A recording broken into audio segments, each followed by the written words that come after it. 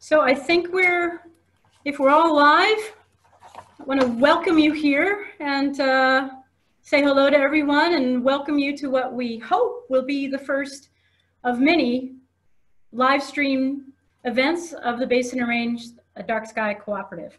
My name is Dawn Nielsen and I'm the Dark Sky Preservation Director of Rose City Astronomers in Oregon. And I'm also a delegate with the International Dark Sky Association. You know, in these topsy-turvy times we're in, it's, it's great to have this opportunity to gather together under a night sky and remind ourselves that we're all one under this sky. And it's an opportunity for us to remember that, you know, we're connected throughout the universe with everything else that's living on this earth because we too are all made of stardust. So you know, it's, it's hard to get that opportunity to think and reflect like that because with light pollution, we rarely even bother to look up at our, at the night sky anymore. But if you can get to a dark sky, and that's what we're here to protect, you will see just an amazing, amazing sight. And so we're gonna do our best job to present that to you tonight. But first, if you give me a, a moment to share the team because we are we are ready to um, give you a great show. I'd like to thank members of the cooperative that have contributed to tonight's event. Thanks go to Ashley Pipkin of the National Park Service, Kirk Peterson of Friends of the Nevada Wilderness, Rick Rolfe of the Oregon Outback Dark Sky Network, Aviva O'Neill of the Great Basin Observatory at Great Basin National Park, our star party MC, Jim Todd, who is the director of Kendall Planetarium at the, National, at the Oregon Museum of Science and Industry, which we in Oregon lovingly call OMSI, and our many telescope operators. In Nevada, we have Keith uh, Caceres, who is the president of the Las Vegas Astronomical Society, and their event coordinator, David Blanchette. The Las Vegas uh, Astronomical Society is also our Zoom host, so a big shout out and thanks for that. In Oregon, representing RCA, we have special guest astronomer and book author Richard Berry, who is the former editor of Astronomy Magazine and longtime contributor to both Sky and Telescope and Astronomy magazines. We also have Mark Lowenthal and Jeff Lee, both amateur astronomers extraordinaire. So this is our agenda for tonight. We'd like to spend the first half hour with you while it's getting dark, providing you with some education on stargazing and on the pristine dark skies of the Basin and Range province. The remainder of our time together will be witnessing live images of a variety of celestial objects, including open and globular star clusters, galaxies, binary stars, a nebula composed of a remnant supernova, nebulae of star-making factories, and of course, our moon and a few planets in our solar system. Before we get started, just a few housekeeping items. If your audio and video are on, please turn them off while others are speaking so we maintain maximum bandwidth. Also, volumes will be kind of varied, so you're responsible to, to uh, control your own volume on your end. If you lose connection over Zoom, please check into the Basin Range Dark Skies Cooperative Facebook page to find the event live streaming. On Zoom, you can ask questions in the Q&A tab. On Facebook, you can place a comment. And after we observe all the scheduled objects, we'll try to address some of those questions as we also find some bonus objects for you to see. We plan to exit completely the Zoom meeting by 10 p.m. And now Without further delay, I'd like to introduce you to Ashley Pipkin, the director of the cooperative, whose job with the National Park Service takes her to some of the most pristine skies in the United States. Ashley? Okay, so thanks everyone for joining tonight. Like Dawn said, my name is Ashley Pipkin, and I work for the Night Skies Division of the National Park Service. I have the great pleasure to coordinate the Basin and Range Dark Sky Cooperative. I'm happy to introduce the expanded cooperative in our first ever virtual Basin and Range uh, Dark Sky Cooperative Star Party tonight. So uh, first, I want to spend a little time discussing why the Basin and Range is so special. Let's just start with the understanding that for thousands of years, humans and wildlife spent half of their life in daylight and half in natural darkness. Fully being able to appreciate the beauty and the differences of what both could offer. But after the invention of the light bulb just over 100 years ago, we have transformed our nocturnal landscape.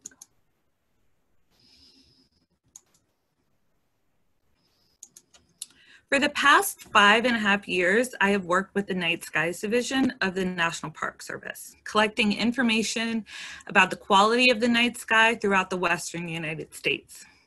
I take a camera like the one you see in the bottom left-hand corner out to mountaintops and detect what light is out there a few hours after the sun has set. I have stood under many types of skies. I have stood under the sky near my home, close to the Las Vegas Strip, unable to see a star in the sky. I have seen wildlife confused and caught like a net in bright lights, unable to navigate by the stars that they have evolved to use as beacons for migration. I have also had some amazing opportunities to go out to places that are so dark that a blanket of stars covers the whole sky until it meets the ground where the stillness of night comes alive and your shadow is revealed under the brightest moon and stars you could imagine. This experience of seeing a pristine natural night sky was once incredibly common. Now more than 80% of Americans cannot even see the Milky Way from their own backyards. And once you get to experience natural night skies, like the ones we share in the cooperative, you really start to understand how wasteful artificial light robs us of such an important part of our planet. So this is a map of artificial light pollution in the United States. And this is the camera that I get to take out. And so you can see in places close to Las Vegas, um, there's a lot of light pollution. So we're going from the brightest skies in red to the darkest skies in black. And in between two cities, in between Las Vegas and Los Angeles, you see this bright um, but fading uh, source of light on the horizon. But incredibly, in incredibly dark places like Great Basin National Park, you can see the Milky Way covering the night sky from horizon to horizon. So here you can see my little car in the picture. So this is taking a picture of the ground, and these are the satellite images that you see. After seeing those images, I hope that we all understand that we have a responsibility to protect the night sky reducing light pollution, and then reaping the benefits and astounding beauty and stunning view of the cosmos.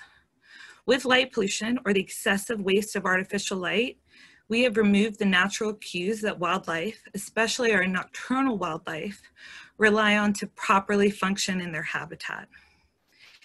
In many places, we have taken the stars right out of the sky, well, tonight we are going to have an opportunity to view some of those amazing objects as we take a whirlwind tour throughout the Basin and Range Dark Sky Cooperative. We are going to visit areas from Nevada and Oregon and visit some of the darkest skies in the lower 48 along the way. We're going to see planets in our solar system, star formations, beautiful nebulas and galaxies.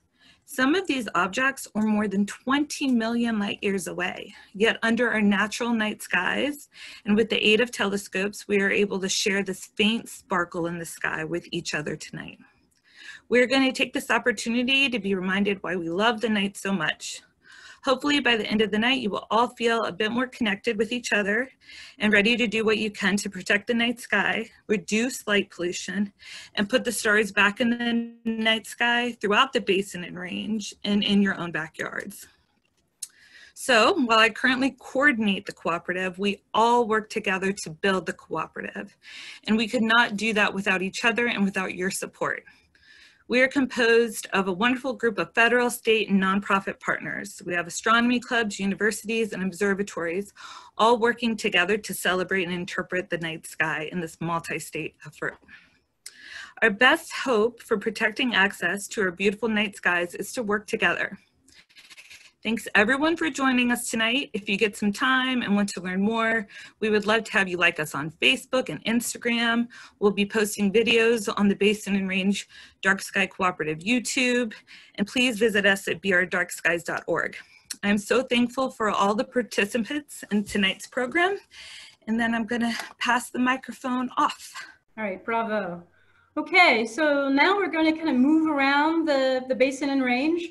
So we're going to start at the southernmost end of where we have participation, and that's at the Great Basin National Park, um, where Aviva O'Neill, who um, is part of the, the, the, the Friends of the Park, has put together a short video for us. Hi, I'm Aviva O'Neill, Program Manager at Great Basin National Park Foundation. Dark skies are really an important and wonderful resource at Great Basin National Park. The park and the foundation together are doing a bunch of programs to preserve, interpret, and explore the dark skies above the park. Something special about this park is that the park and the foundation work together to create the first research grade astronomical observatory that's ever built in the national park. In 2015, we constructed the Great Basin Observatory, a project dreamed up by a Great Basin Park Ranger. The GBO is the first research grade observatory ever built in a United States national park. Set at an elevation of almost 7,000 feet with no significant man made light for 70 miles in all directions, the observatory is a state-of-the-art, remotely operated, optical, astronomical telescope, which allows researchers to explore astronomy and science from the park's pristine dark skies. Four university partners work with us in the Great Basin Observatory project. This allows students in places that have lots of light pollution to access the amazing dark skies above the park for research and education. So projects that students are working on are looking at exoplanet transits, understanding double star systems, looking into how when stars are circling a black hole, what kind of information we can get from that. Um, those are called cataclysmic variables. And just the, the aspect of learning to do research using a very high grade telescope is um, unusual and very special for the students that are using the Great Basin Observatory. Researchers also will do astrophotography. And so we have a bunch of beautiful images that come out that let us share the excitement of the beauty of the cosmos. Great Basin National Park Foundation also partners with the park to deliver youth education. The building of the Great Basin Observatory inspired us to create science education curricular resources for teachers which are made available on the Great Basin Observatory web portal. We work in Great Basin area schools, connecting children to the park through classroom presentations, field trips, and material resources and trainings for teachers. Our goal is to encourage students to engage in science and conservation more deeply through place-based learning and to treasure the Great Basin region in which they live. As you can see by this virtual background behind me, Great Basin National Park is a beautiful place with uh, tall mountain peaks, beautiful lakes, lots of great hiking, excellent camping, the oldest trees, um, the bristlecone pine trees, and these views of these amazing dark sky, dark night skies. So we do hope that um, when times are better and we're not in a pandemic, that you will all come out and visit and enjoy the dark skies from Great Basin National Park. And until then, um, we hope that you'll visit the Great Basin Observatory website um, learn more learn more about the research that we're doing right now and um, take a look at some more beautiful pictures.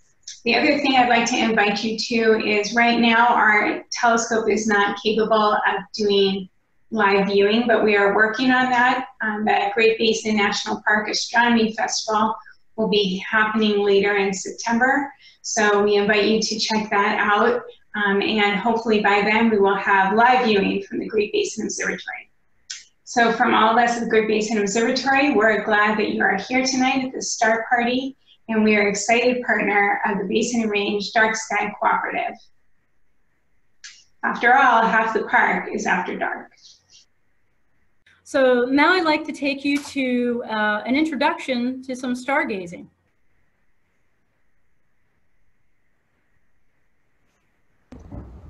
Hi, I'm Dawn Nielsen, and I'm with Rose City Astronomers.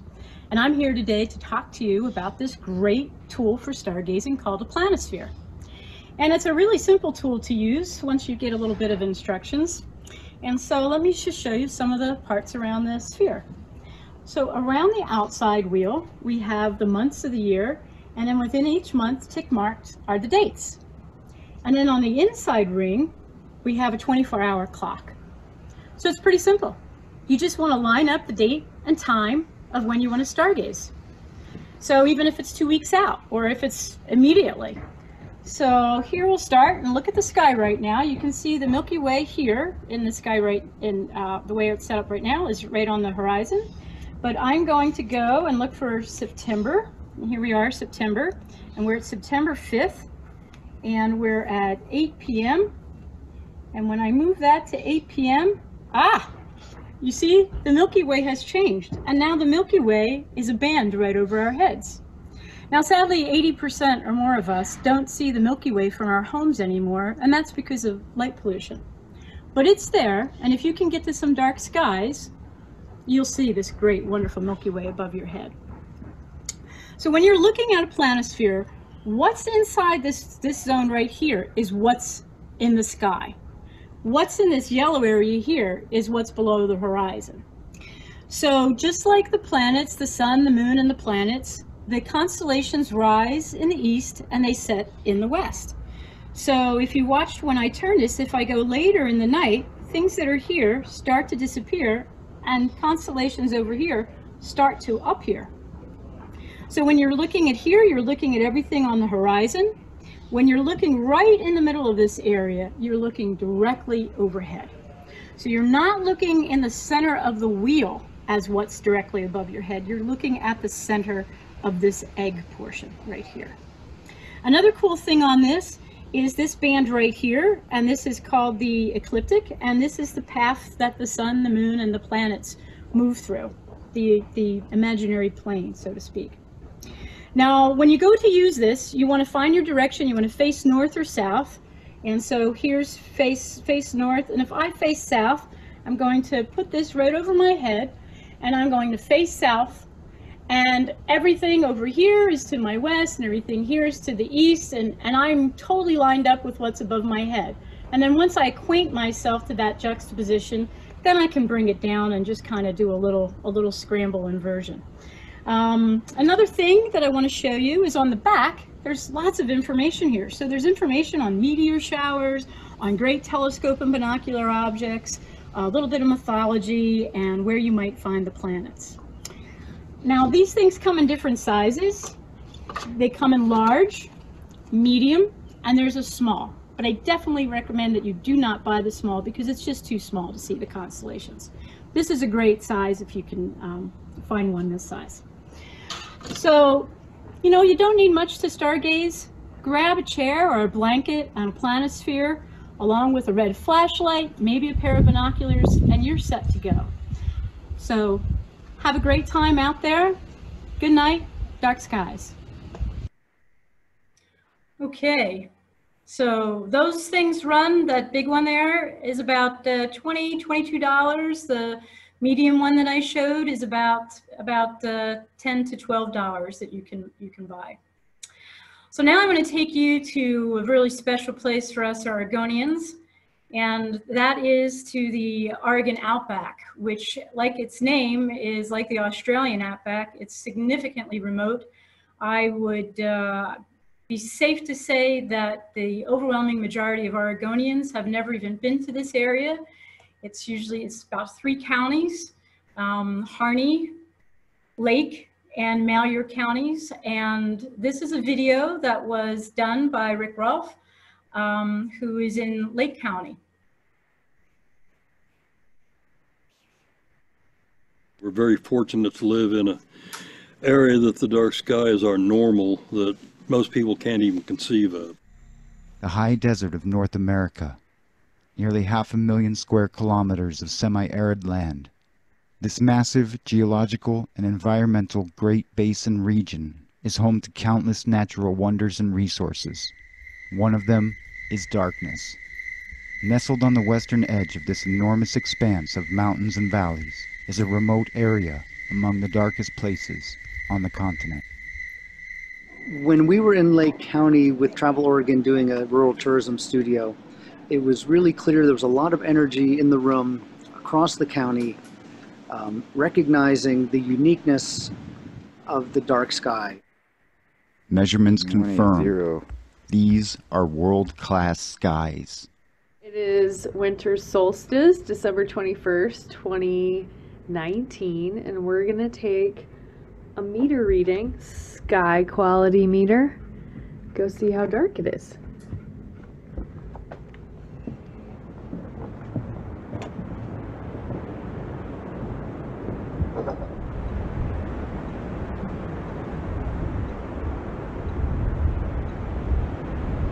Got 2178. Class 1 skies are characterized as black. Richard Berry, astrophotographer and former editor of Astronomy magazine, describes the darkness in eastern Oregon as an incredible resource. This is, this or this was where we were last night. Okay, excellent dark sky site. And here's, here's a map. X marks the spot. Rural Oregon has an incredible resource out here. We need to be able to protect the dark skies. There's a problem with encroachment, with uh, people putting in more and more lights. Yes, we have to grow, we have to have the lights, but if we can do it right, we can still preserve our dark sky. With the formation of the Oregon Outback Dark Sky Network, specialists are working with the local population to determine how a dark sky designation might apply to areas in Oregon. A reserve is a very large contiguous area of dark sky. And I'm wanting to get the Fremont a designation with the International Dark Sky Association. As the world continues to lose its dark places, humanity becomes more alienated from the source of information. Did our ancient ancestors ever conceive that one day we would have to save the stars? Ran into you in the dark.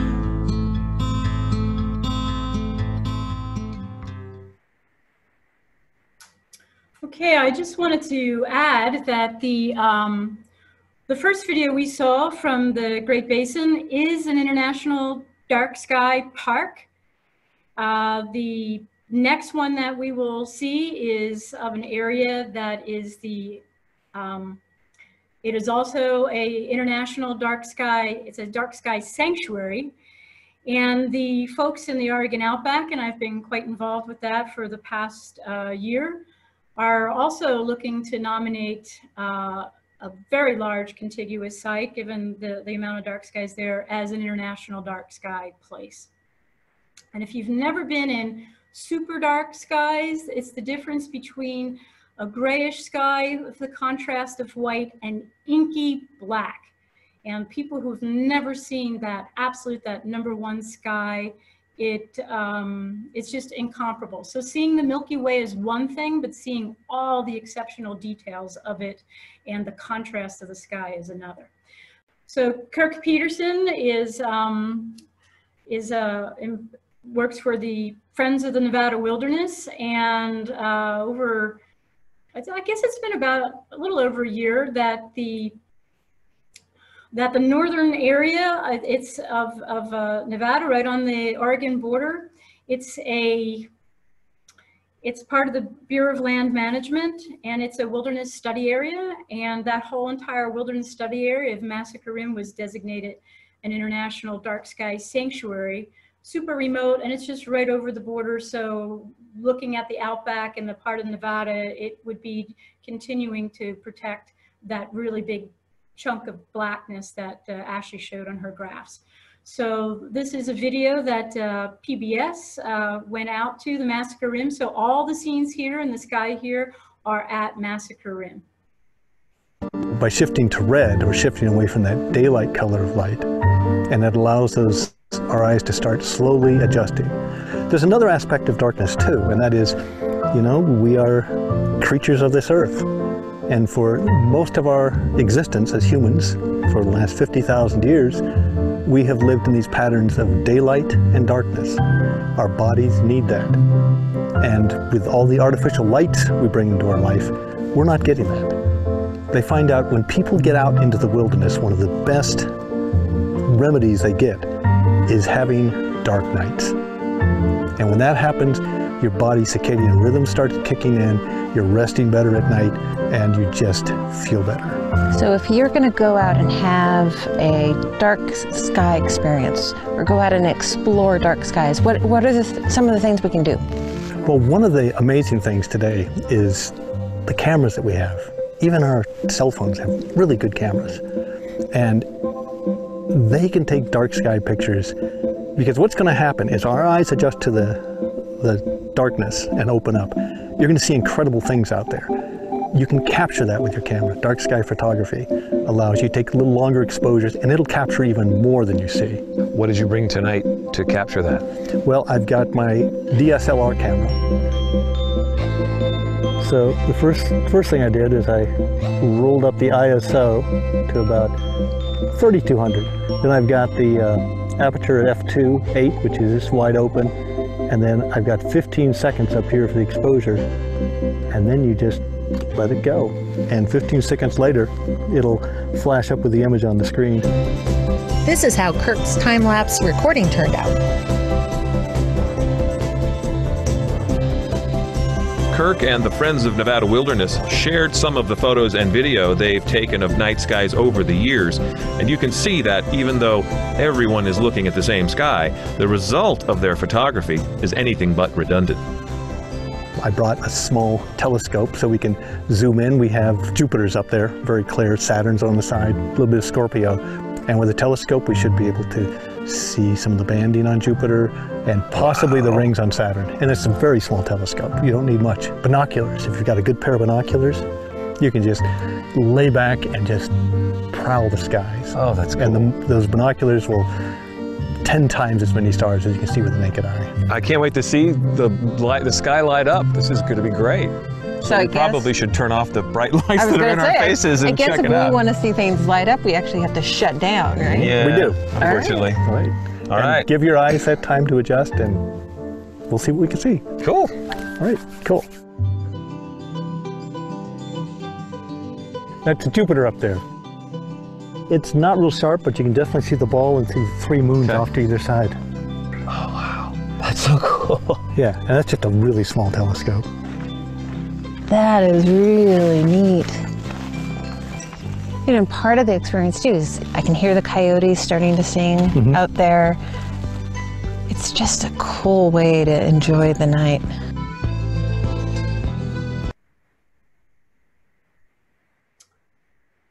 Okay. All right. Well, did you hear the part where she said, I can hear the coyotes at night? And that's such a big part of going out to a dark sky. It's not just the stars, it's the amazing quiet. And you'll find when people are under the stars, everybody gets quieter. People whisper to one another because there's just this, um, there's just some kind of secretness to it, so to speak. But um, so speaking of sacred and going to the stars, our next, our next guest is Jim Todd, who has been with Oregon's beloved OMSI, our science museum, for over 30 years, directing the Kendall Planetarium. And he's, if you want to learn more, get online and go to OMSI. There's tons and tons of videos there that Jim's been responsible for and learn more about astronomy and dark skies. Well, thank you, Dawn. And um, I'm Jim Todd. I'm the Director of Space Science Education at the Oregon Museum of Science and Industry. I'm also the liaison with the Rose City Astronomers Club, which is a phenomenal club here in Portland, Oregon. And they have their meetings here, um, which here, but at the museum um, once a month. And they have a wonderful membership of around around 600 or more. And so um, they are truly amazing. And so we all share the commonality of enjoyment and uh, passion for the nighttime sky. And what I'd like to do now is show you kind of a, an overview of where we're going to be looking uh, tonight. And we got these amazing telescopes set up uh, for viewing. And uh, what I'm going to do is kind of highlight some of the area that we're going to be viewing. And this is just a program that I like to use online. It's called Stellarium Web. And there are a variety of software they can use, PlanetSim software they can use uh, for um, learning about the nighttime sky. There's Stellarium, Starry Night Pro, uh, Sky Safari. Those are just a few. Uh, but I like this one because it works well on Zoom. And this is what I use for a classroom. It's a great resource for teachers. There's also um, a site that you can go to, to skymap.com, uh, that you can download a free map monthly uh, to get uh, the latest uh, images, uh, as far as not images, but uh, a list of things that you can look at. Um, and it's a very useful resource. It's also free. You can get it for the Northern Hemisphere, the equator, and the Southern Hemisphere. So if you're planning a trip, you can download it and you can put it in your own backpack. So what I want to do is kind of start off uh, looking at the nighttime sky and uh, for tonight. And uh, we have a very interesting lineup of objects that we're going to be seeing. So the first step you should always do that uh, when you want to learn about the nighttime sky is to get your compass bearing. You want to face north. And if you don't know where north is, one of the things that you look for is where the sun is set. It's always set in the west but also try to remember some of the familiar landmarks that you associate with uh, looking north. So after sunset, you face, face toward the north. The first step you should find anytime you want to learn the nighttime sky is to find the Big Dipper. And the Big Dipper now in September before midnight is low above the northern horizon. Okay? This is actually an asterism. Okay? And then you have the seven stars that outline the spoon in the sky. It's part of the constellation called Ursa Major, which is seen as the Great Bear in the sky. So once you find those two, uh, the Big Dipper, we're going to use it as the guidepost to help you find other stars and constellation throughout the evening. You take these two end stars of the bowl of the Big Dipper, draw imaginary line until you come to the first bright star. And that star is called Polaris.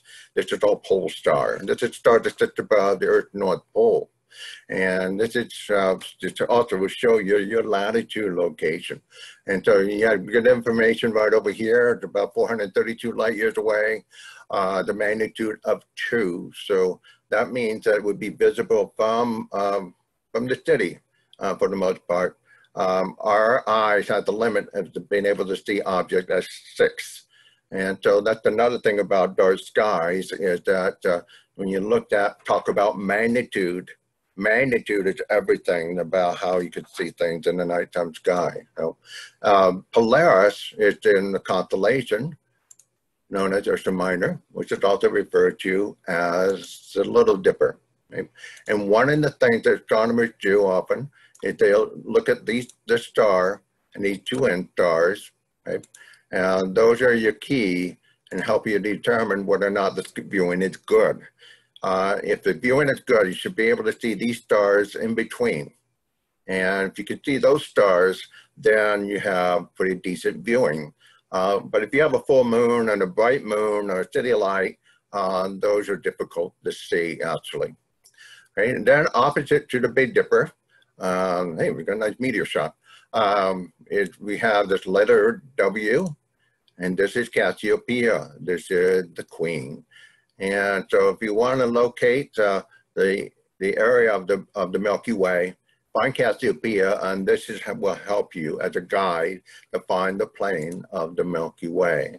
And so once you orient yourself towards the north, okay, um, and uh, you're facing in that direction, then behind you will be uh, south, and then um, what you're facing north, to your right will be east, and then to your left would be west. Okay? So you have your compass bearing all set up for you. Okay, and then uh, we're going to swing around.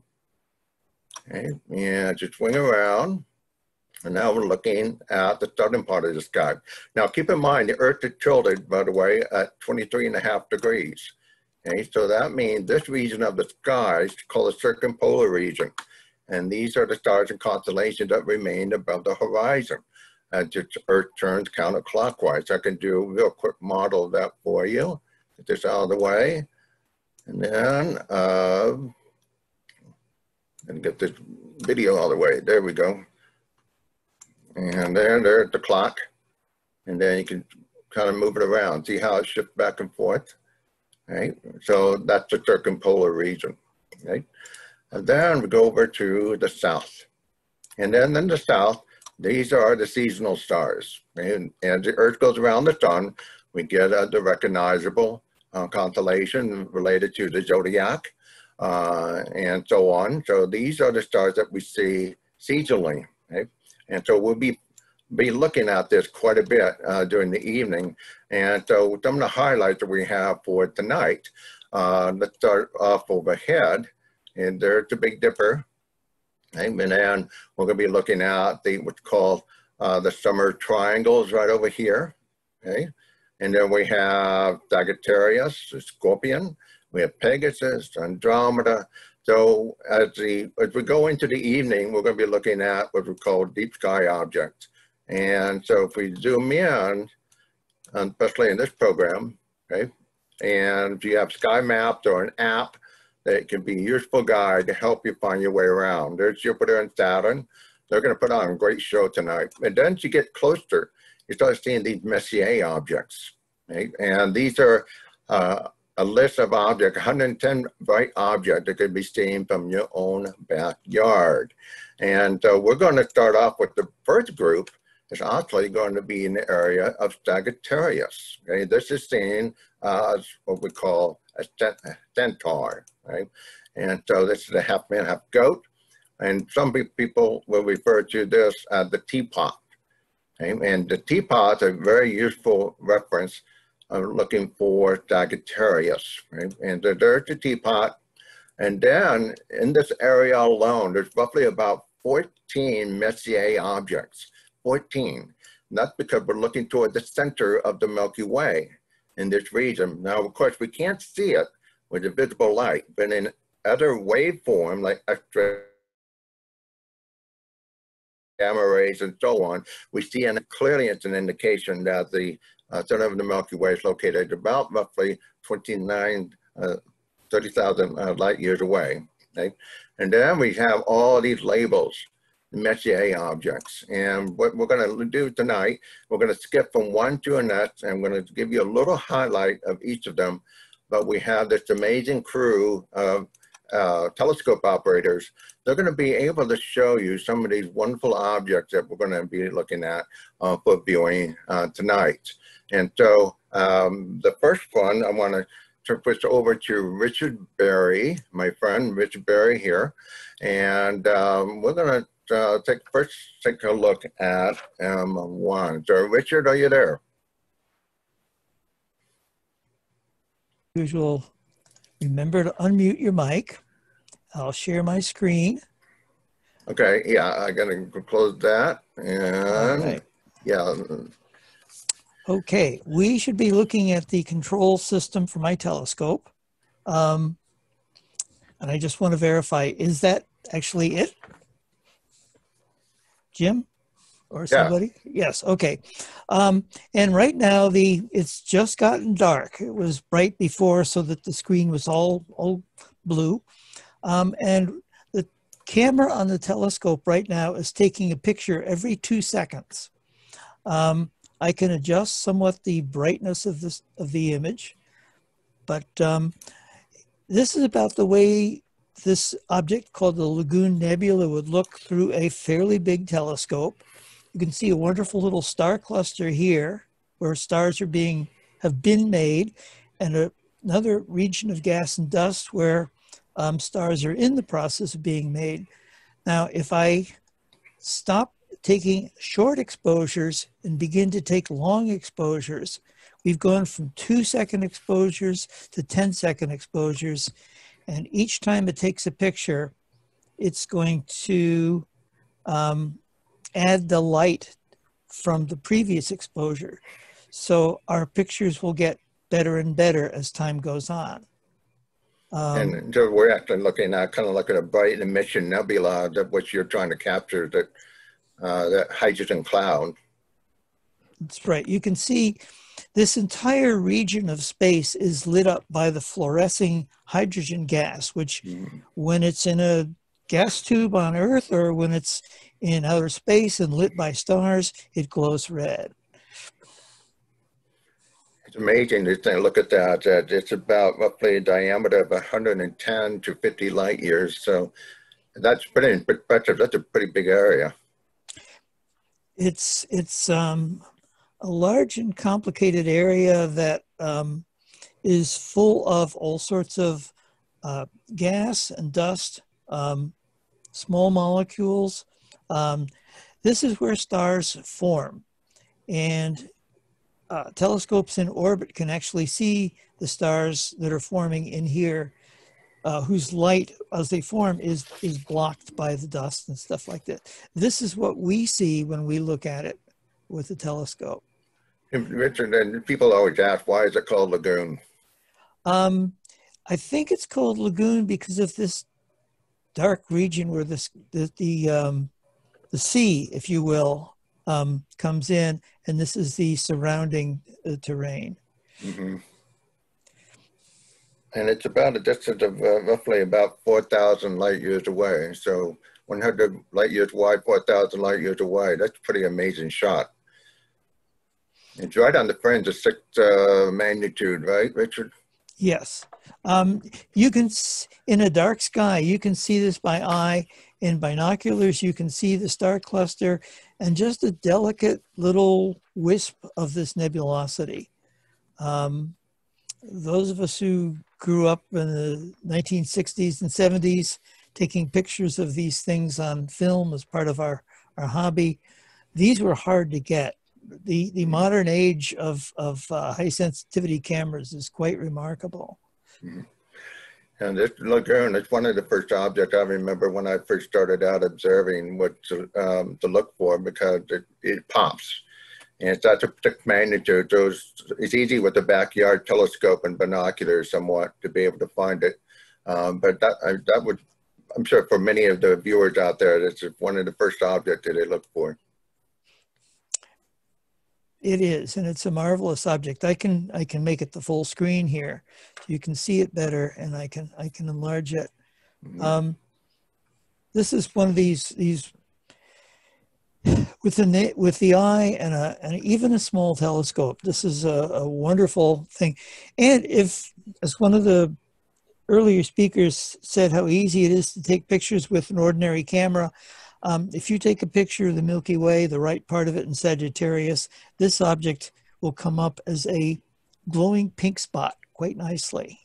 Yeah, that's another thing, the good, the good thing to point out is that um, Sagittarius for our latitude here in Portland, it's fairly low above the southern horizon. So it makes it an additional challenge because we're looking through more atmosphere. So, um, but if you go further south, uh, obviously it goes higher and higher, get better view.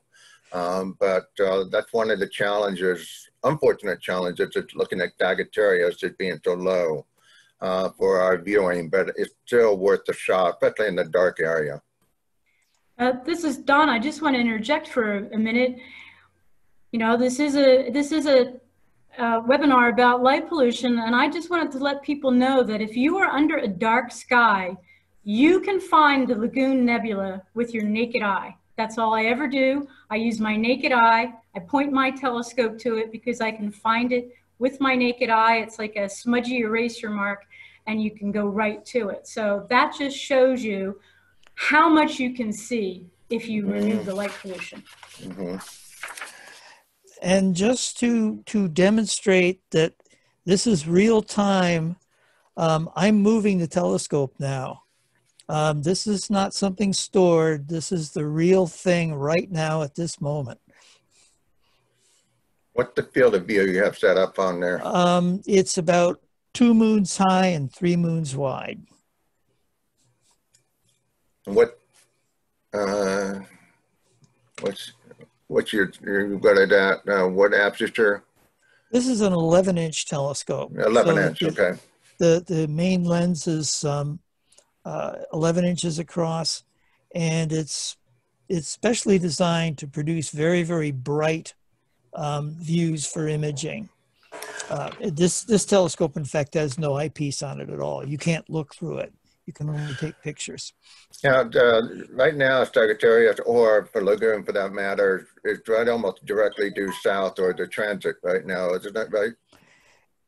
Uh, yes, the, in fact, uh, just before you came on, the telescope decided, oh, it's moved across the meridian. I'm going to leave it and come around uh, and flip the telescope over. I saw that we had a question in the background. Um, someone raised their hand. Uh, to, Are we well, taking? Yeah, we- we're going to take questions at the at the 9:30. Richard. Okay, fine. Okay, so, So uh, I'd like to suggest we move on to, to Jupiter to catch up a little bit, and I think Keith should be ready. yep, we go to Keith, and uh, Keith, you're going to show us uh, what Jupiter is looking like. Oh, it's looking great. Could you actually see the uh, great red spot at the edge here? Let me just share my screen. I just shop, stopped. Very good. So this is a live view of Jupiter Wow. we've got going on here. Let me just get the. Uh, Okay. So where are your, control. what's your location, Keith? I'm in Las Vegas here at the northwest part of town and uh, looking out over the roof of my house to the south here. And you could see I have a camera on my telescope. That that telescope is uh, the large one, the 8-inch SCT is giving you this live picture of Jupiter here, which I'm also recording so I can stack it later. I'm going to zoom in the, the scene conditions. It gets blurrier if I zoom in, but you can see this red spot is right here. That is the great red spot. It's going to rotate out of view uh, pretty soon. It's right at the edge. Uh, I'm actually going to blow this up a little bit so that, uh, but I'm, I mean, blow it out by uh, increasing. Right now, the exposure is 20 milliseconds. I'm going to move that to 120 milliseconds.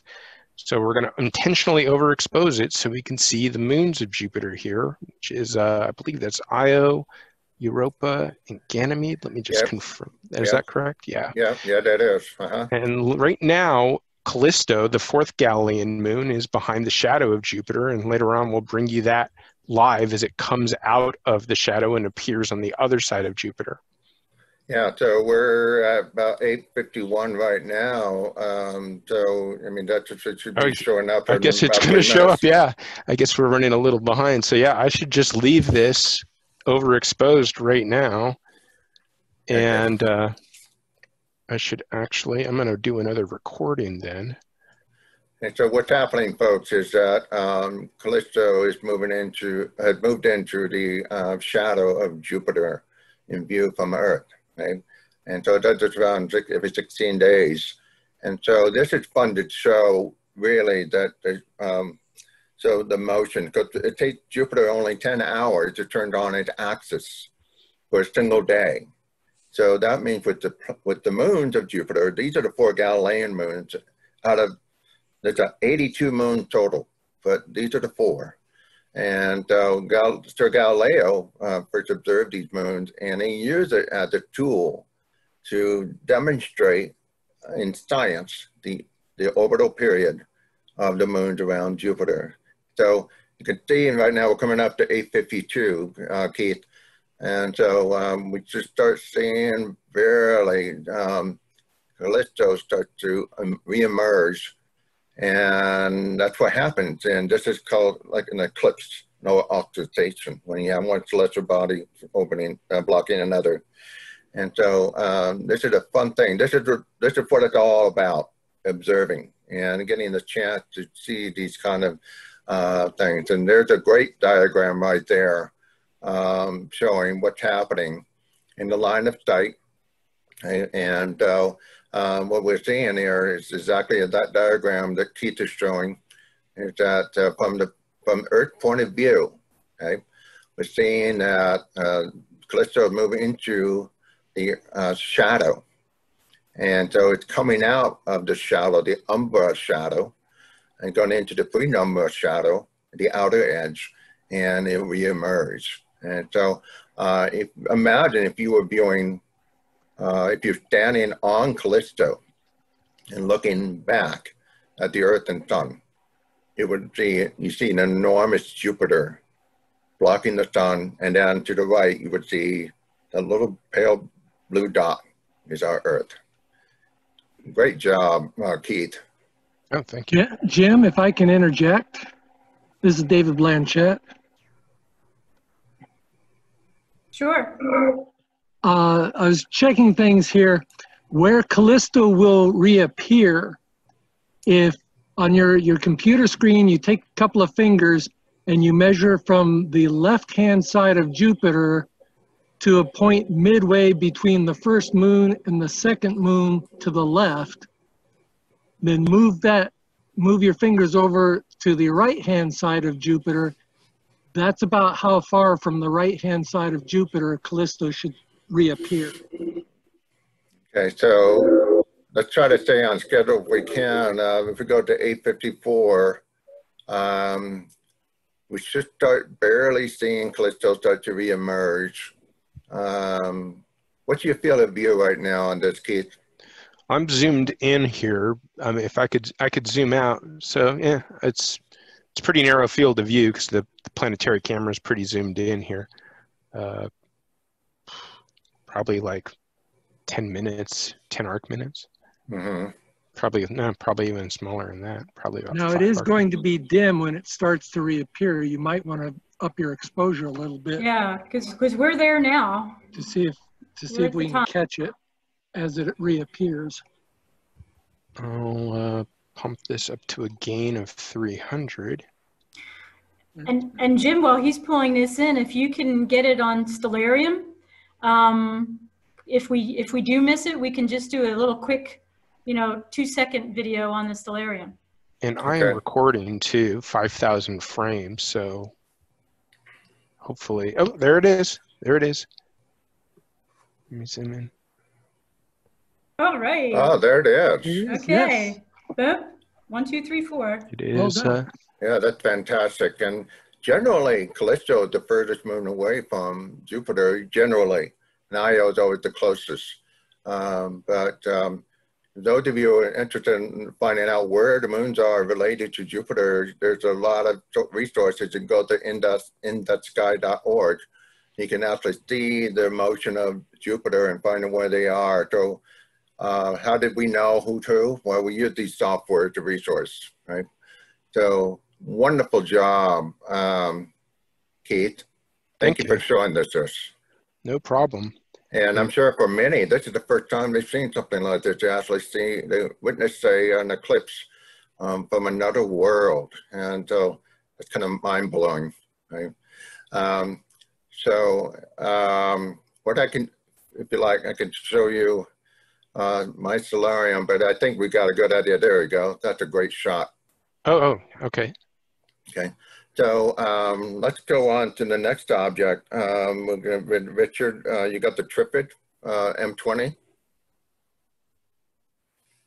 And I'll stop sharing. Turn off my mic, share the screen. Uh, Um, stop sharing. Let's make sure I get that. Okay. So- Um, we are running a little bit behind the schedule we set up. Um, and um, the Trifid Nebula is here. This big thing here is a tree branch. so um, what I'm going to do, we, we'll- we should be able to, be, to see it with a longer exposure. Um, this is another star forming region. Um, in the next few minutes, the star, because the telescope is following um, the object, the tree, all I can say is, you know, trees are a problem. Um, yeah, well, we- have trees in Oregon, Richard. we, we have, I know, we have a, a lot of them. Um, however, over here, okay, the object we intended to look at is right here. The tree looks like it's moving this way because the telescope is going that way and tracking the sky. However, there's another little star cluster over here. Um, I don't know what this one's name is. Um, Okay, and if I guessed, it would be um, it look like an open cluster? Oh. I hate it when things maximize and they shouldn't. Um, however, we do have all lined up, or at least ready to go, um, a different type of cluster um, called a globular star cluster. And I want to get it before it goes into the tree, uh, which it will. Um, and I'm going to center it in the screen. Mark Ashley has uh, M22 on his uh, screen right now, Richard. Okay, So Mark, you want to show us uh, M22? Man, that's a nice cluster. yes, this is a cluster of about 100,000 stars. Um, if Mark has it, I'm going to stop my share. Mark, do you have Mark can M22? Okay. It's, a, it's M22. It's a globular cluster. It's located in Sagittarius, everybody. Uh, it's a wonderful cluster. Um, so uh, go ahead. Um, uh, can you share, Mark? Let me try it now. There we go. Okay. Okay. Can you see? There we go. Yep. So this is, um, yeah, this is M22. It's a few hundred, probably three or 400,000 stars. I don't remember, remember the exact number, but uh, I'm going to, uh, I just, just caught this a few minutes ago, just before it went behind my house. And uh, so uh, zooming in here a little bit, you can see it's, it's just dense with, with stars going out to the edge of the field. Yeah. And um, so it's a, these are all very, very old clusters, like on the order of 10 to 11 billion, billion years old. Um, globular clusters are pretty much as a rule very old like that. So the stars are frequently um, quite old and white and yellow with age, essentially. Yeah, M22 is one of the first uh, clusters that were discovered. Uh, not the closest, but one of the first ones to be discovered and uh, used as a, a reference um, for determining um, the location of the center of the Milky Way, which is orbiting around the center. And that thing is old. It's about uh, 12 billion years old. Yep.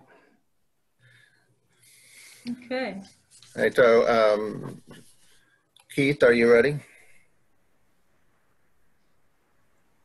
I'll release my. I am. I'm back here. Okay, so let's go to Saturn. All right. So first thing I'm doing is let me just share my screen. I'm overexposing it again so we can hopefully see some of its moons. Pump up my exposure here quite a bit. Really takes a lot to see those moons. And those of you um, viewing Saturn is the second largest planet in the solar system. It's amazing. Everybody's favorite object to look at in a telescope. So there's some of the those dots around it are Saturn's moons. I don't have the. I'm not going to pull up the diagram right now, but uh, Stellarium or Sky Safari can identify each of those for you. And now I'm going to lower the exposure to something reasonable, and we can actually view Saturn with its rings. I'm guessing about 40 milliseconds is going to be what we want to look at here. It looks like it's a little overexposed. Let me knock that down a little more. Oh, look at that. Can you, can you uh, expand that to fill in the, the whole screen, Keith? Pretty much. Wow. Now, Saturn's in the constellation of Sagittarius, ju- just to the left of Jupiter, about five, six degrees. It's not as bright as Jupiter, uh, but has the brightness, but um, definitely worth a look. And um, you can see the rings, uh, see the details. The bright object that was on earlier to the right was uh, Titan, the largest moon of Saturn. There's 82 moons. But that's the largest one, and Titan has an atmosphere. That is a great shot, Keith. Thank you much. Unfortunately, I think this temperamental program, I'm going to have to quit it and restart it. I studied a region of interest, uh, gave it a little hiccup here. M17 is the Swan Nebula. And I can quick throw on Oh. the, the Trifid. Um, oops. Oh. I'm back with Saturn. Okay. Whenever you want to go.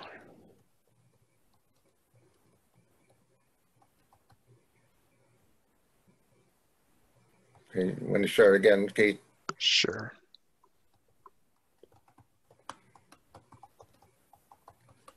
Gotta love technology, right? Yeah, yeah, exactly.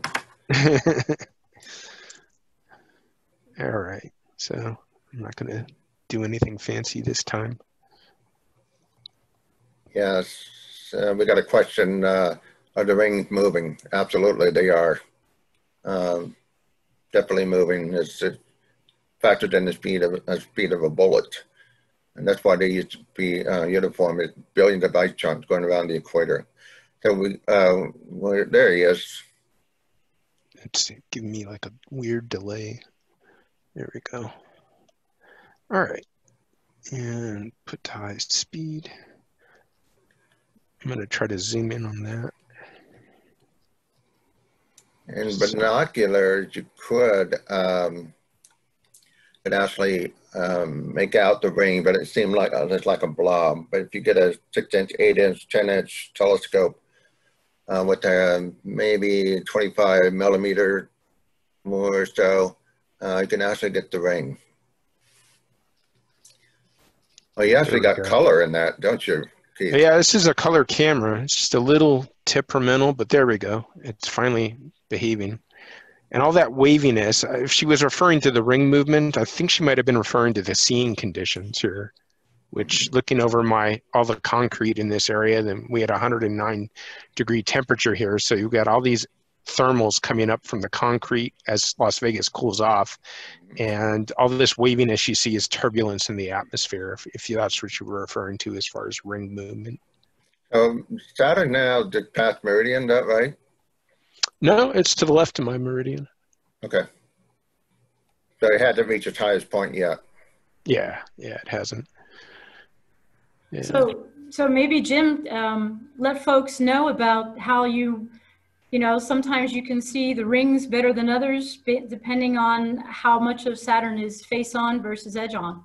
Yeah, and the, the Saturn's ring, uh, the- of course, goes around the sun and the earth and so on. We have this geometry, so it wavers back and forth between the north face and the south face, and then there are times it's edge on. And so a few years ago, the ring was facing edge on. We couldn't see the ring. This year and last few years, we've been in about 25 degrees. And so we can actually see the plane. So this is a, a great time to see the ring. And uh, those of you who wonder, next summer, uh, Jupiter and Saturn will be visible again about this time. But however, Jupiter is going to be on the other side of Saturn. So uh, if you didn't get a chance to see Saturn and Jupiter this summer, you'll have another chance next summer. I want to draw your attention to one thing before I go. You see this dark area right here? I just want to point out that is Saturn's shadow on the ring. Mm-hmm. Great details, Keith. Thank you very much. I bet you get long lines for that. yeah, I usually do um, uh, camera-based uh, at, at our uh, outreach, so I get like a, a crowd of people around me usually. Yeah, in my star parties, once they see Saturn, that made their night. People go home Oh, happy. yeah. Yeah, it's it's the kind of object that hooks you for life in astronomy. Okay, So- so if we can, uh, if we can move on to, uh, Richard, you have M17 or you have something to show us? So, okay, this is M17. Um, it's called the Swan Nebula. Um, right now, we're looking at it upside down. Um, it also, you can imagine it looking like a duck. But this is another region like the Swan, I mean, like the uh, Lagoon and Trifid, where stars are forming inside this cloud of dust and gas.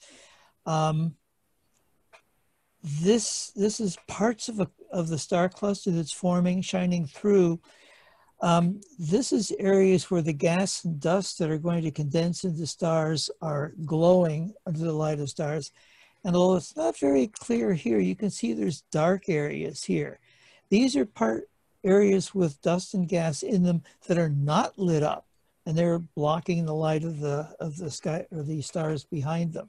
So we see them in silhouette. Um, this is a what's called a molecular cloud.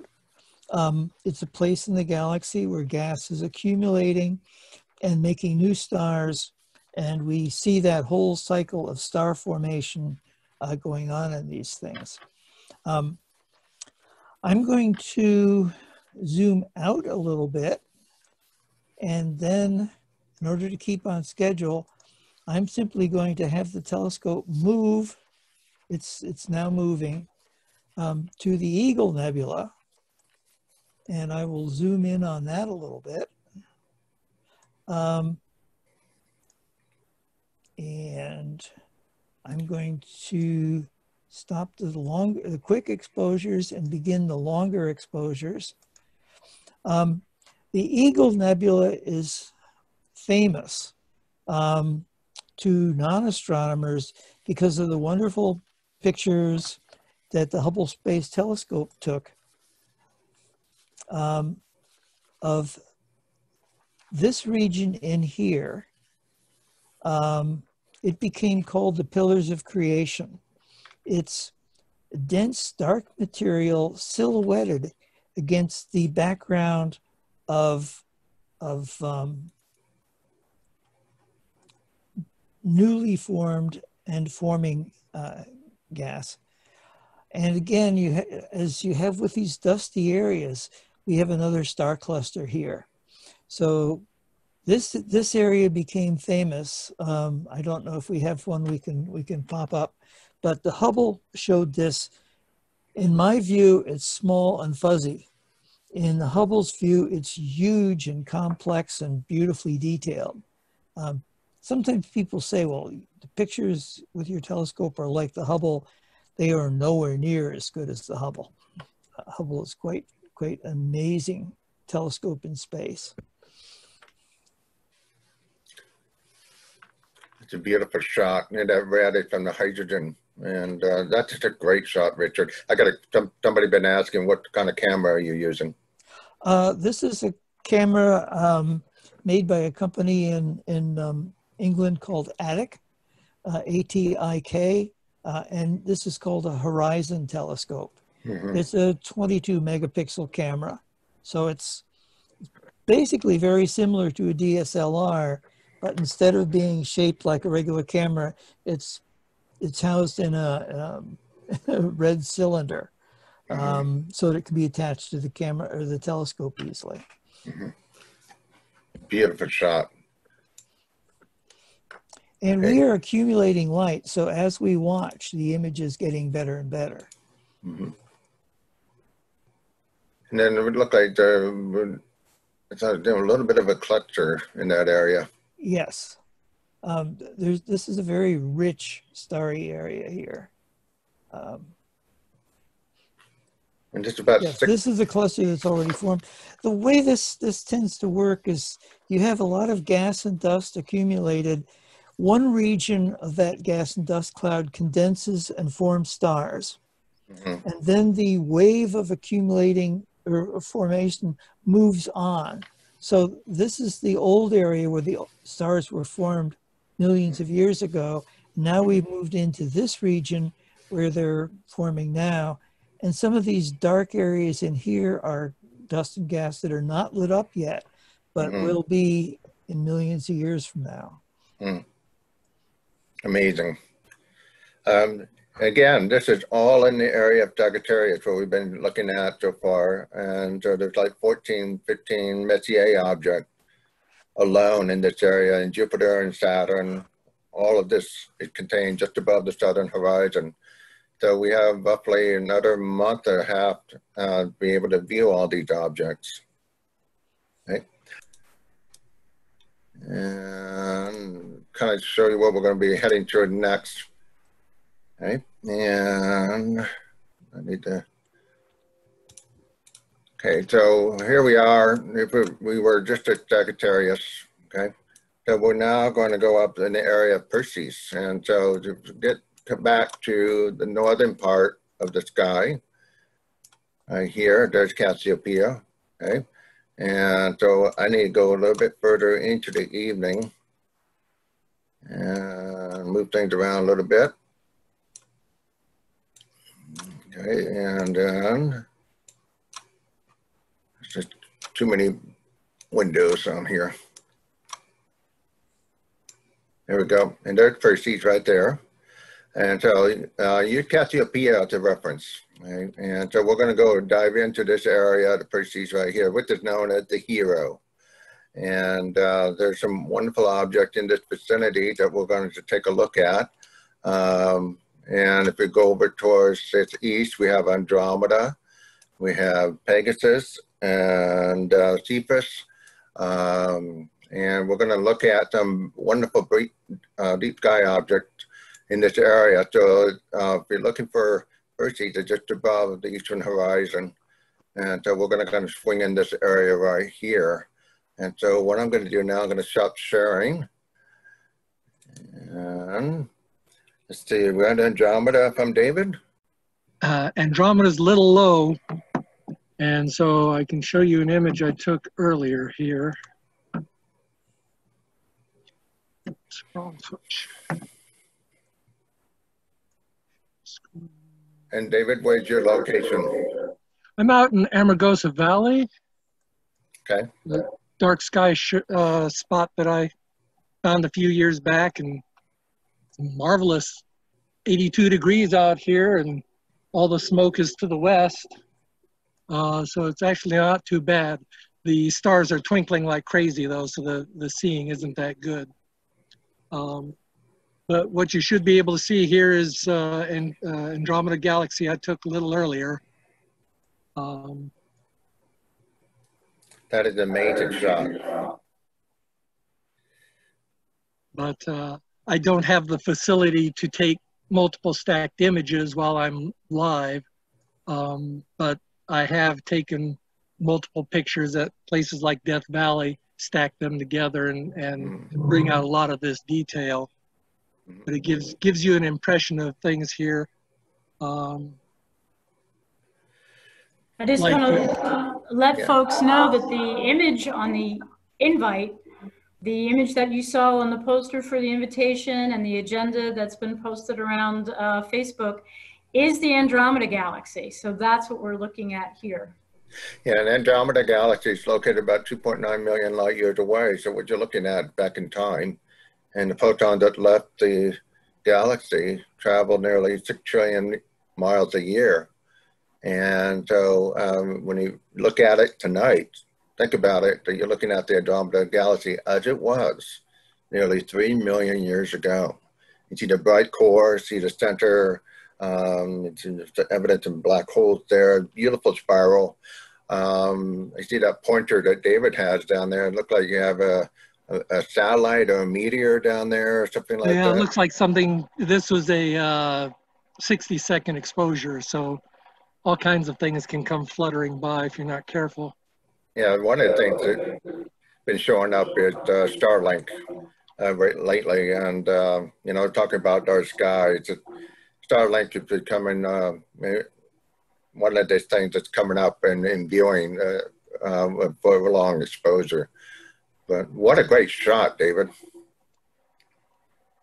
It's pretty good for the seeing out here and, and such, yes. Hmm And Andromeda now is just, just above the eastern horizon, so it's not really high right now. So that that poses a challenge. So the best time is to get it when it's nearly overhead. You get a greater contrast. You can actually see the beautiful arms of the galaxy in the spiral. And this is used as the model. Um, I believe it's twice the size of the Milky Way but it's a beautiful model of the bar spiral galaxy. And this is used as uh, kind of a guide to understanding uh, galaxies. There's millions of them. And that's a great shot, David. Thank you. Yeah. Um, so if we can, actually, uh, Mark, um, you have the bow tie nebula? Okay, so this is a target called uh, NGC um, 40, the Bowtie Nebula. So I'm going to slew over to it. And uh, so you can see our stars whizzing by here as it moves to uh, the nebula, and there it is right there. Uh, and so I'm going to go ahead and start stacking this. You see your bow tie in that? Yeah, it, it may be. It, maybe if you turn your head. So I'm going to go ahead and start live stacking. and uh, it's a planetary nebula, isn't it? Yeah, it's a planetary nebula. And um, so here we go. So what I'm doing now is I'm actually letting the computer start collecting images and it's going to add images and the image will gradually get better and better. Uh, the seeing at my site's actually quite good. So um, we're, we got a good night going tonight. Um, you can see down here, this is uh, a measure of the diameter of the stars in pixels as it stacks the images. And each, wow. each new bar here is a new image getting added. Each image is only 1.5 seconds exposure. And so you can see over here, we're up to 15 seconds of exposure now. And with each, uh, with each image stack, the noise gets more, um, less and less, and you see more detail in the nebula. Um, this is um, a lot of the nebula we were looking at in Sagittarius are actually star forming regions where stars are born. Um, actually, all of them that we were looking at were um, um, nebula where stars are being born, uh, star forming regions big clouds of hydrogen gas. This is um, actually the other end. This is a star that's in the process of dying. And the star that's dying is actually that little white star right at the center. Um, and it's produced what's called a planetary nebula, where it's just, it's starting to lose grip. It kind of bloats up as it gets old and it loses grip on its outer layers of gas. And it just kind of blows them out to space. And so over time, over these types of nebula last um, a few few thousand years, usually about 10,000 years or so before they dissipate. And so this is basically a bubble of gas that the, the star is blown. And we're looking at it from the side. We're looking through a bubble. And so this is kind of, you see these kind of weird kind of structures here on the sides. And those are kind of the, the, the, the emission of the outer layers of the star when it when it blew off these outer layers happened in several kind of happened cyclically over, over a period of um, quite a number of years. And so you get these funny structures where you get layer upon layer of, of structure. And, and even if you imagine that this star had a planetary system, or even maybe it was a double star and had another star orbiting it, um, those sorts of bodies orbiting the star that dies can actually produce weird kind of spirograph-like uh, patterns in the uh, in the shape of the planetary nebula that's formed. So yeah, yeah, this is actually going to be the future of our sun. Uh, it's going to be a yeah. red giant and become a planetary yeah. nebula nova, and then uh, so we're looking really at the fate of our sun billions of years from now. Yep. The, the, the color of the that you see here is is, uh, is red.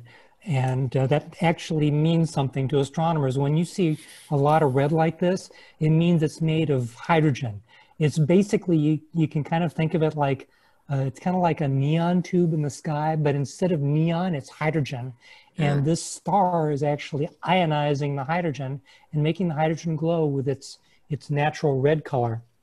So now we're up to about 90 seconds now. You can see the, the image is a lot smoother now. We're seeing a lot more detail in the That's structure awesome. and so on. Okay, so for the sake of time, um, Richard, um, you have something to show us? I'll release mine. Yes, I do. Just a moment. Um, and then we'll go to you, Keith, after this. Uh, I have the moon and Mars rising here. Okay, so let's go to Richard, and then we'll get back to you, David. All right. Here we go.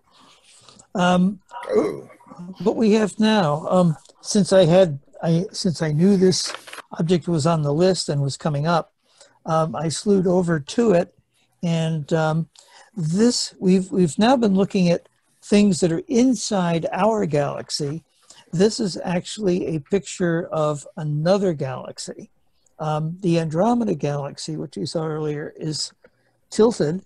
This one we're seeing face on, and this is one in which um, another galaxy, it's two galaxies, another galaxy has disturbed this one by colliding with it and uh, distorting its, its form.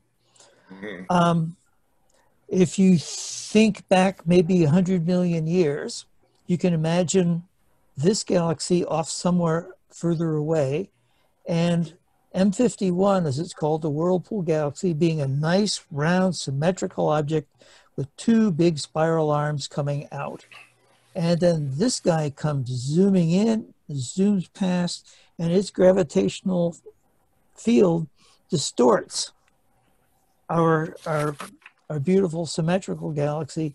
It throws parts of stars that are in this spiral arm way out into space. It throws more stars way off into space. This galaxy partially self-destructs, and we're looking at this beautiful symmetrical collision, a car wreck, if you will, of two galaxies that are interacted. And this is how galaxies, when the, when the universe formed, there were many small galaxies. This is how galaxies have become large. They, they keep interacting with one another and building up. Yeah, and people, um, it's uh, just below the last star, the handle of the Big Dipper. Yes. And uh, what they, if you have a Telrad, you basically can hang the circle right at the end of the last star, the Big Dipper, and you can find uh, the whirlpool. My personal favorite, it always has been, because it's you look at this and go, wow, that's really, it's really there. It, it's it's really the classic picture of a galaxy. This and the Andromeda galaxy. These are the ones that, if you look in the textbooks and stuff, you find pictures of them one of the wonderful things about amateur astronomy is that you see the pictures in the books, you read about these things, but in amateur astronomy, you can take a telescope and you can go out and you can see these things. They're really out there, they're real. Yeah, people say, oh my gosh, I can't believe I'm looking at that. No, that's wonderful, Richard. Um, Let's do real quick uh, here. Uh, David, uh, can you uh, want to show us the moon here? Everybody, but you know, it's always amazing that when um, we talk about the moon, how many people have never seen the moon in a telescope? And they -huh. get mesmerized by it. So, um, can you unshare your screen, Richard? Oh, sorry. Well, folks, we're going to be able to have some Q&A after this so that um, Stop share. Okay. You'll be able to maybe ask any one of these guys a question. We can refer back to those images. So, David, if you can show us the moon, uh, which is a waning gibbous moon. Okay, not. Well, let's see. Okay, um, I've played with the white balance. It's it's not. It's showing purple on my screen. I don't know how it looks on your screen. Um, but the, the moon's up, it's very orange, and uh, Mars is right on top of it, coming up off the horizon. Oh, and, uh, right on the upper left, upper left there? Yes. And to show you what my seeing is like at this altitude, this is the best image I can get of Mars right now, is a nice it's definitely red, isn't it? well, it could do that simply because it's so low and there's so much smoke in the air. But uh, yeah, it's a half it's half the size of the Earth, and um, Mars is going to be more visible later this year in 2020. So um, it's just barely getting into the field of view for the evening. But yeah. uh, look at the details, the craters on the moon. And can you zoom in on that? Oh, let's see here.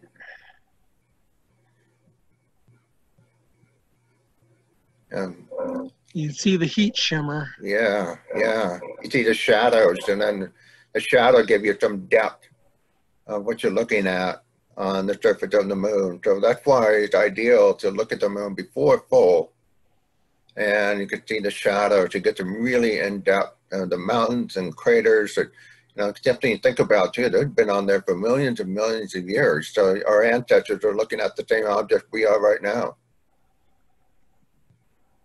It's an easy object to look at, and uh, yet it's difficult to explain to a layman why we go through phases of the moon and so on. Uh, and so um, that's a great shot, David. Considering the conditions, yes. yeah, yeah, yeah. kind, kind of gruesome on the horizon out here. Yeah. So I think we can go one more. Um, Keith, can you have, show us something? Sure. Let me uh, share my screen.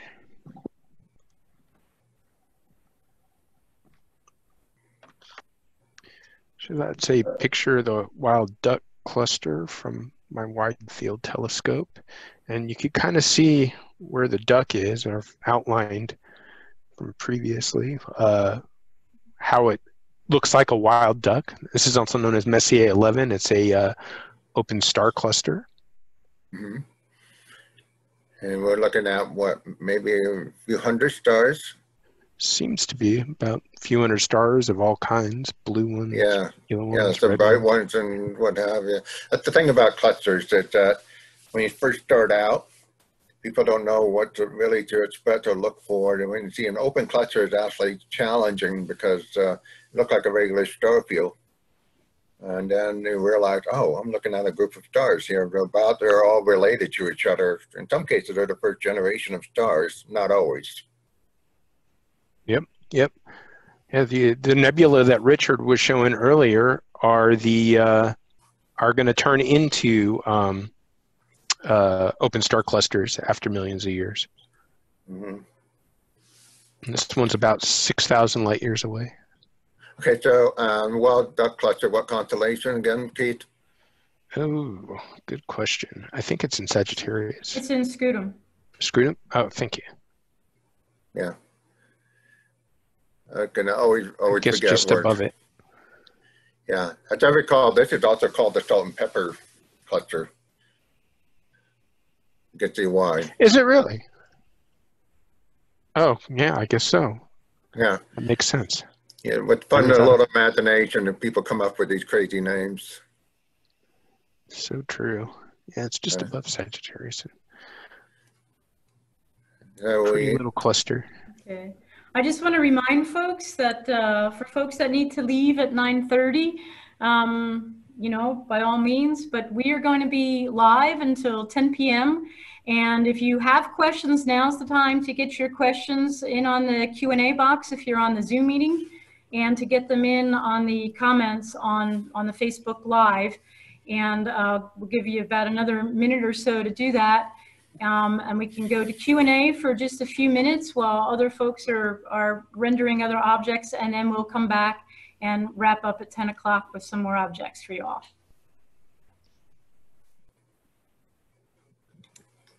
actually, I want to recognize all these guys, uh, Richard and um, Richard and, and uh, Keith and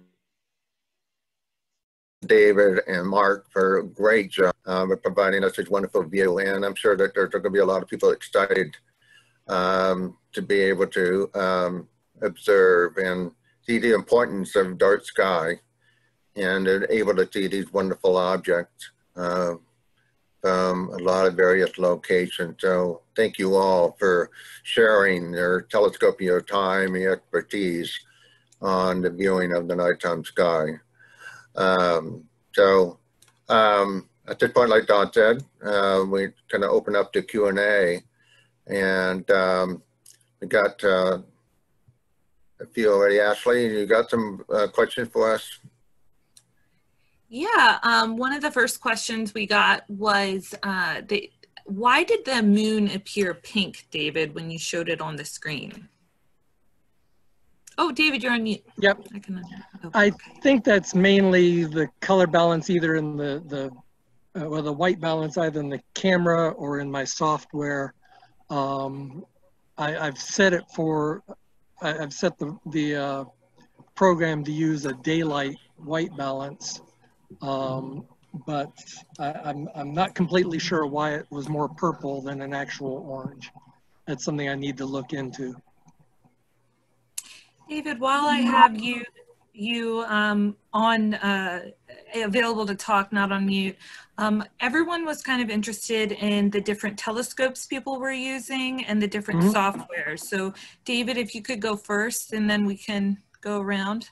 I'm using a an eight inch Newtonian astrograph, F, uh, F number 3.9. So it's a wide field. It's very much like uh, Richard's field, like he was saying, three moons wide, two moons high. Uh, so it's a, a degree by one and a half degrees. Uh, the camera I'm using is a DSLR Canon TI7 and the software software is called Backyard EOS, uh, which is uh, package that uh, there, there's a software kit that you can get for uh, a software library you can get for the Canon cameras. And about the time I was thinking about writing the software to talk to the camera, I discovered this program and it's done pretty well. Um, but there's a couple of other things I want to look at and see if I can use them. And can you remind everyone where you are tonight, David? I'm out. I'm out in Amargosa Valley, a little south of Highway 95, uh, along the uh, Death Valley Junction Highway. Great. Mark, can you share some of that same information about your telescope software and location? Uh, yeah, I'm in uh, Vancouver, uh, Washington, just across the river from uh, um, Portland, Oregon, um, and the Columbia River, that is. Um, and uh, um, I'm um, my uh, telescope is set up in my backyard. It's a it's a 16 inch uh, Dobsonian tracking telescope, and uh, I have a ZWO uh, uh, camera attached to it. Um, and um, it's focal length about 1900 um, millimeters, something like that. I think that was that was that the full list of questions. Yeah, on the- you did it. okay, I think I've, I've got a picture of it somewhere or other. So um, Okay. actually, I think I sent one to Dawn, and I, I've got it up um, if if somebody wants to see it. Okay. I can- yeah. Uh, Keith, do you want to share your? Yeah, there's. Sure. So I got a live camera shot on mine. Uh, I got two telescopes here. One's hiding behind the other. Uh, the main scope is an 8-inch uh, Celestron Edge HD Schmidt-Cassegrain telescope, which is what I've been using for planetary tonight. Uh, that's got the planetary camera. And then the, uh, which is a ZWO ASI 178 MC. MC is the color version. Um, and then the wide field telescope is an 80 millimeter APO refractor from Explorer Scientific, and it's got a um, Canon 70D on it with a light pollution filter. Oh, you know, I forgot to mention my uh, my software SharpCap is what I'm using for live stacking. Oh, and I'm using a Mac, so I am using Astro DSLR and uh, for the Canon, and I'm using a program called Planetary Imager for the ZWO planetary camera. And then I'm also using Sky Safari to control the telescope as a planetarium program. Yeah, that's the same one I use. Cool. Richard, I think you're the last one. Let us know what you're using tonight. Nice. Ah. There's that tree. I know. Trees in Oregon. Trees in Oregon.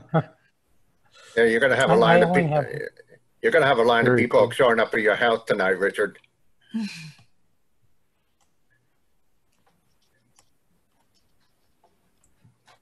Oh, Richard's still on mute. I'm going to ask him to unmute. Unmute. Sorry. Um, No problem. Yeah, did I, I took this, uh, I wrote an article for a magazine recently and they said, we need a picture of your telescope. And I did what astronomers never do. I turned on lights in the observatory and I posed a picture. So I'm sitting at a little console with a, uh laptop computer in it. The telescope is, is here. You, that's the telescope proper. The mounting, which points it, is here.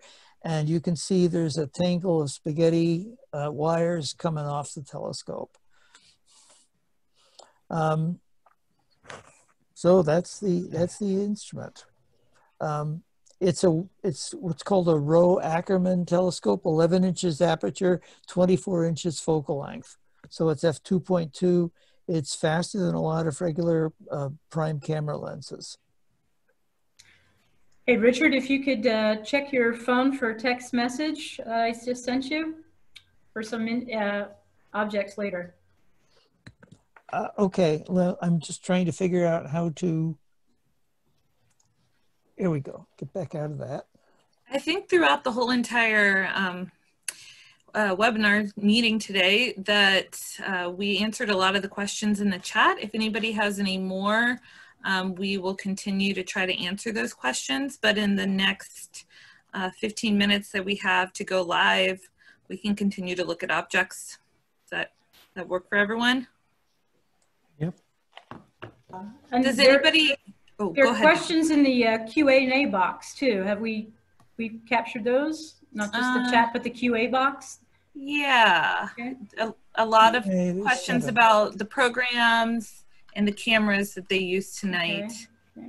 And uh, I, I think I'm seeing, all the ones I'm seeing have been answered. If you're Great. seeing other ones, Dawn, though, let me know. Might be different between screens. Yeah, I've actually got a text message, uh, not on chat. I don't know why somebody texted me, but anyway, uh, somebody asked if we can uh, possibly see M13 of Hercules, if anybody can swing to that one, um, because that's a really easy object uh, to I- look at. I did take pictures of it earlier when I was setting up. Was that M30? You mean M33? I, I see M33. You say M13? Uh, M13's in Hercules, everybody. Yeah. Um, and uh, it's an easy object. Great one to start off with binoculars. And it's on the right hand side of the keystone. Hmm. Nice shot, Mark. Oh, Dick David? Yep. Yeah. Okay, sorry. Start counting stars. Yeah, I think M13 is behind my house. The, the dancing man, I always call it, because it looks like, you know, lots of arms in the dancer. Yeah. The kids I show in the planetarium there, it's called that uh, uh, the bowl of diamonds. And they're looking at uh, roughly 300,000 stars. It's amazing. And then uh, it's bright, it's bright core, really easy. Um, so far we've cataloged 151 of these uh, objects and they're always around the center of the Milky Way. But what a shot, nice shot, nice contrast. Yeah, it turned out pretty well, but it's also very high in the sky. So And so Hercules is overhead, so this is an ideal time actually to look Yes. at it it's less and more transparent overhead. And uh, if you if you are like David, then you have the moon is red because you're through more atmosphere, but it's overhead. It appears to be more white.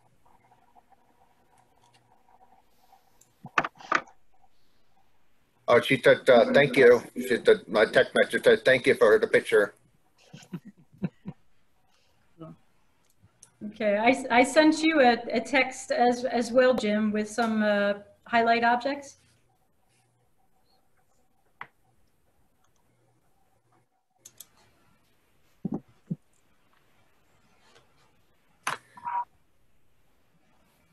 In the meantime, we got a question about the best um, places to view the night sky in Southeast Oregon.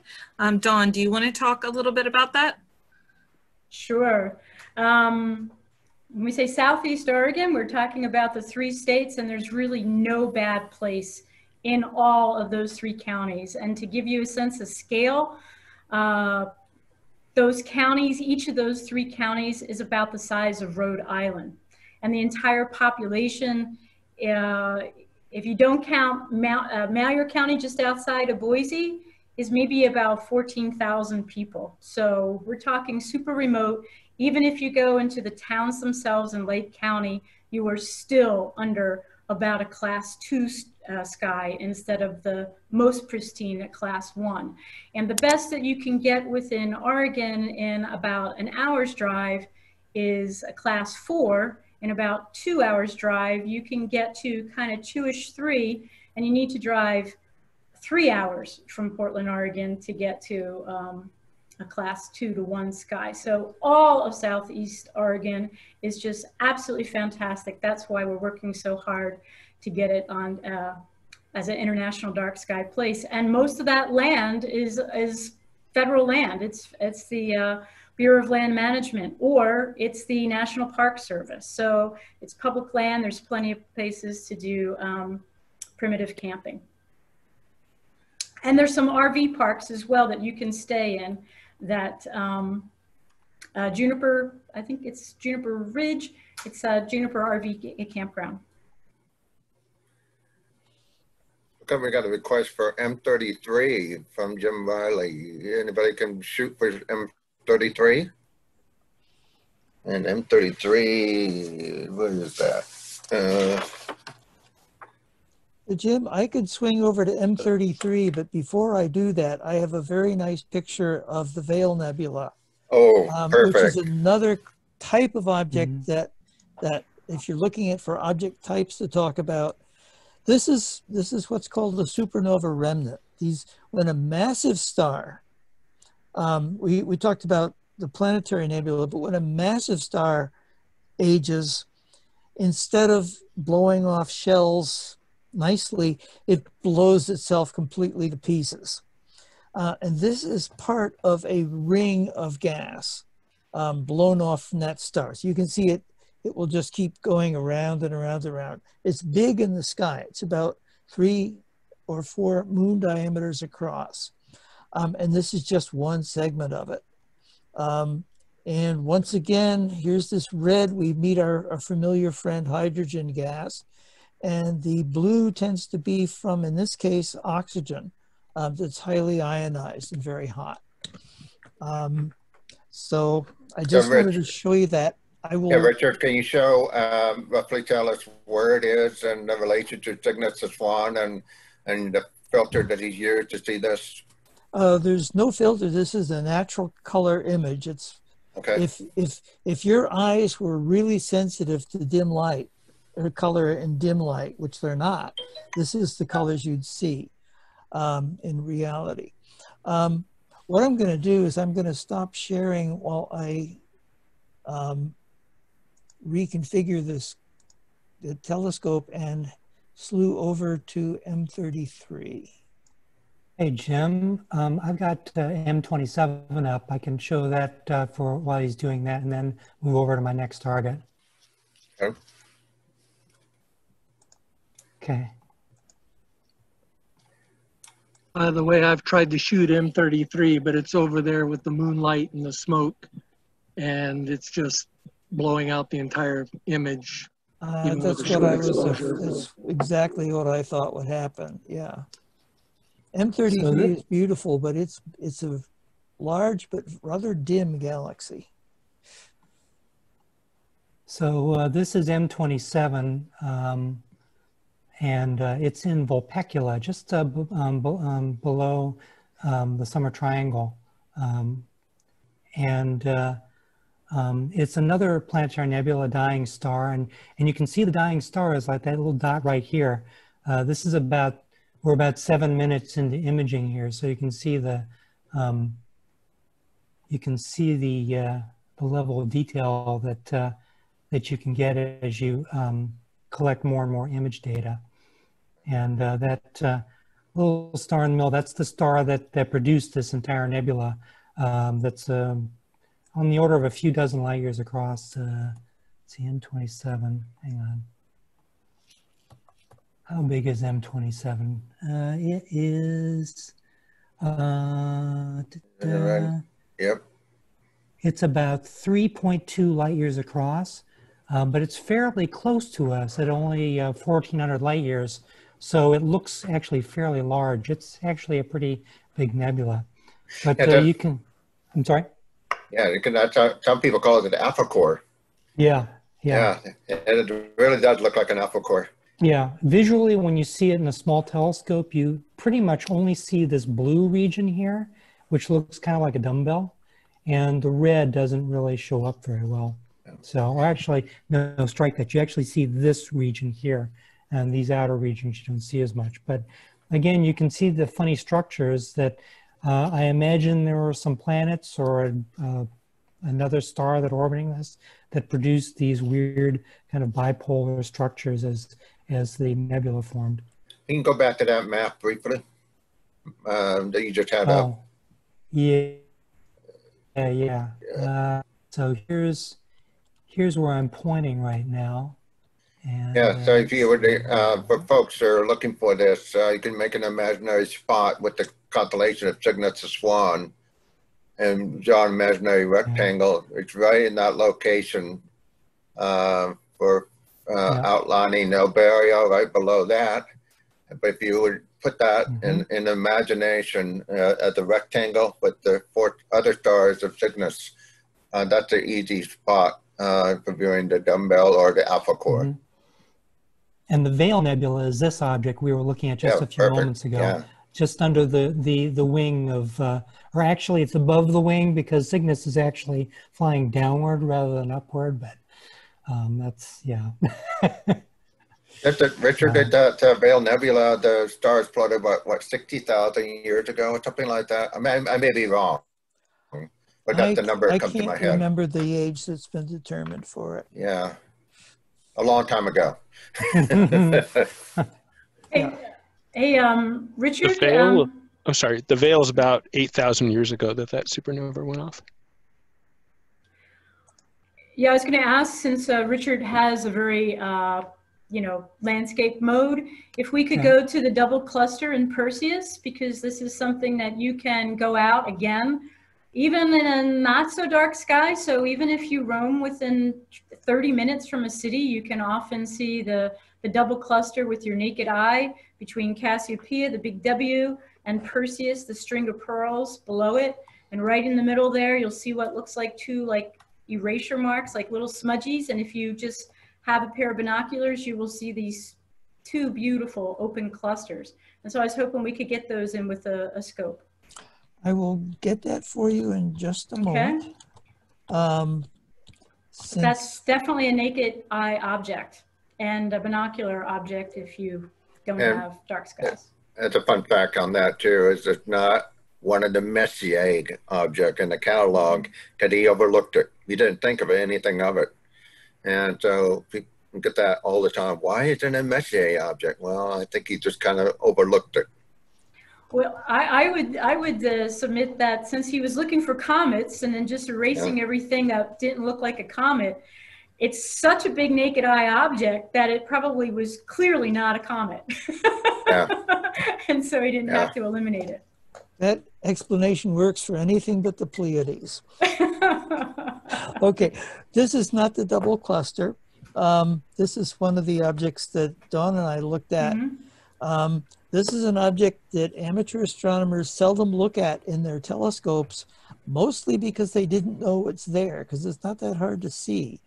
It's called the Crescent Nebula, and we we saw um, the supernova remnant, the Veil Nebula, which was a shell of gas from a star that blew up.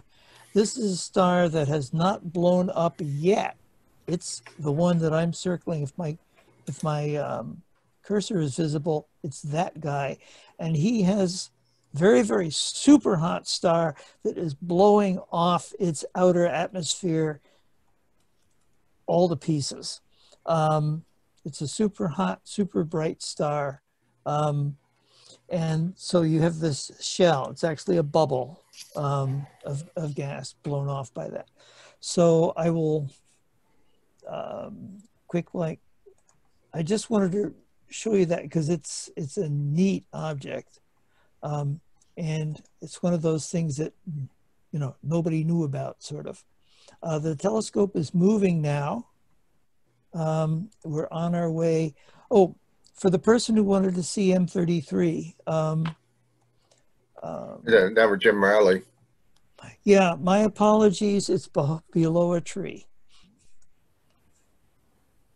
We can't get it. Here we go. The telescope is moving. It's taken off. Stars are zipping by. I think we can all agree to this that uh, digital technology has really opened the door to these wonderful viewing. I remember a few years ago, film was everything, but you never knew what you were going to get out of it. But digital technology really had opened the door for all these exciting opportunities to see these kind of things in a shorter amount of time, but instantaneous almost. Yes. Um, and here we are. This is the double cluster. Um, easy to spot in binoculars. It's right midway between Cassiopeia and Perseus. And you see these two little sparkling gems of, of star clusters. Um, get my, my... It's one of those things too, that when you see the double cluster and you see Capella, you know winter is coming because it's emerging from the east. And so uh, farmers, early farmers would see that, you know, they see the Pleiades, they see the double cluster, and they see Capella. That, oh, okay, well, you know, this winter is just around the corner. So I have a special request of Keith or, or Richard. I have a cousin in Maryland who's been staying up with us all night, and she's asked if we can take one more look at Saturn. I can try to accommodate that. Yes. Uh, Saturn is not actually behind my trees, but my telescope is designed for wide angle views. Um, so. Someone asked me, Richard, are you inside the observatory? I'm in my office. Okay. I what I'm showing you is I'm sharing the screen of the computer that's in the observatory. Okay, I just wanted to clear that up for somebody because I'm Richard, to it.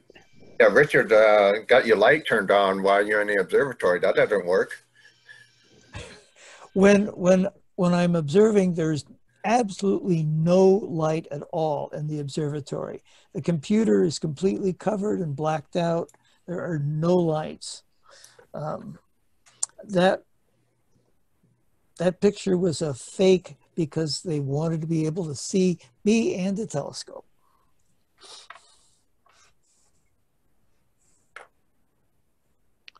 Trying to get it. It'd take a few minutes to get a new view. By the way, something I wanted to mention before about M33, the reason it's uh, so dim is because it's in the plane of our Milky Way galaxy. And so there's a lot of gas and dust that uh, dims the light that comes from it.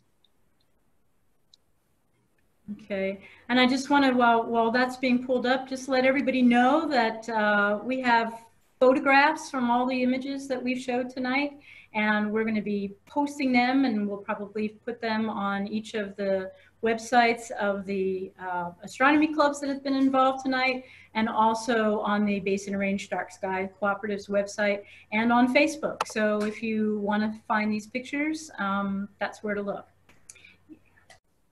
Another thing too that I want to just make a quick announcement. Many people know me already that we are um, we have the planetarium at OMSI.